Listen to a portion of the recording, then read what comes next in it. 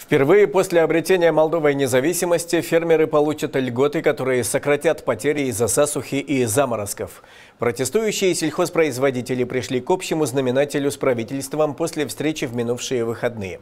В то же время парламентская рабочая группа из депутатов фракций ПСРМ, ДПМ, ПДС и ППДБ совместно с Кабмином определила ряд решений по облегчению бремени земледельцев.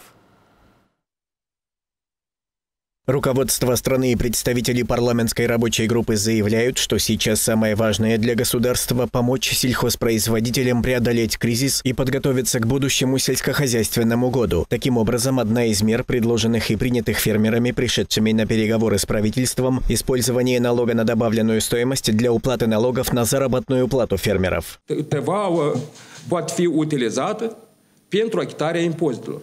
ca agricultorii să nu scoată banii din buzunar, să achite, după care să solicite restituire tăvaul, direct să, să, din contul tăva să va fi achitată, vor fi achitate aceste impozite. E o ușurare anume a, la агрикультурлор, care nu au bani la conturi. Более того, фермеры, взявшие кредиты на покупку сельхозтехники у госпредприятий 2КР и Мекагро, получат каникулы на погашение суд. Vorbim de o reșalonare de un an, 12 luni pentru tehnica care au primit-o și este vorba de aproape 200 de milioane de lei. Также из фонда агентства по интервенциям и платежам в сельском хозяйстве погасят проценты по кредитам в размере до 150 тысяч леев, взятым сельхозпроизводителями. Agricultorii care au credite până la 150 de mii, AIPA poate să le, le va achita acele dobânzi la aceste credite.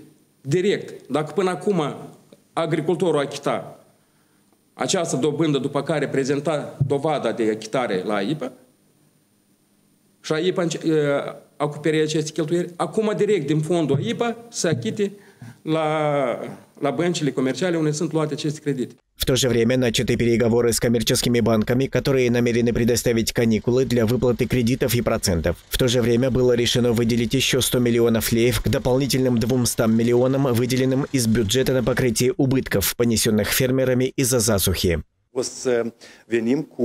Uh, propunerea de a redirecționa pentru uh, prima grupă de cereale, deci uh, suma inițial anunțată pentru unele ulterioare plăți, este vorba să ajungem la o compensare de 1500 de lei la hectar, acum avem, din câte înțelegeți, 1500, deci va fi suplimentat cu 100 de milioane. Niciodată încerc să menționez, nici anul trecut, inclusiv, nu au fost alocate așa surse.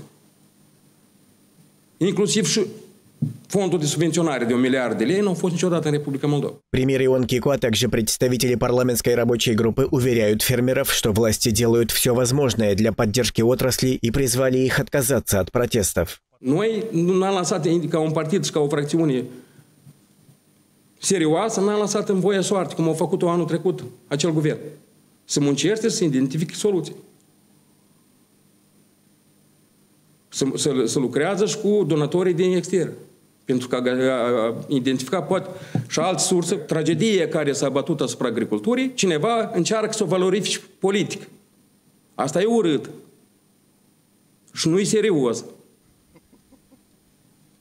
Țara are nevoie de pâine, dar nu are nevoie de proteste politice. Au promisiunea agricultorii că pe măsura evoluției, sper, pozitive a bugetului, statul va veni cu suplimente la la acest, la acest suport, pentru că, într-adevăr, este o situație dificilă, dar și noi, ca guvern, ne dorim foarte mult ca sezonul agricol pentru următorul an, semănăturile din toamnă, să fie asigurate, pentru că vorbim de securitate alimentară și acesta este important. Скоро ситуацию в сельском хозяйстве премьер Ион Кико обсудит с представителями Международного валютного фонда. Они проанализируют возможность оказания дополнительной поддержки фермерам.